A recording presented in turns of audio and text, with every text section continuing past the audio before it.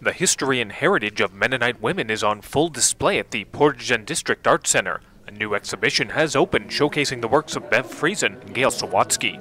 Both artists were raised in the Mennonite culture and are using their artistic talents to show the lives of Mennonite women and how their role in their society has evolved over the years. Gail Sawatsky says the reaction to these pieces from all generations has been very positive.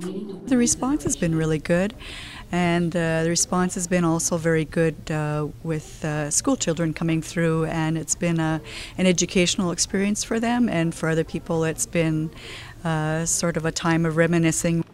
Bev Friesen says this is an exhibition that is close to their hearts, that they hope will continue to evolve over the years.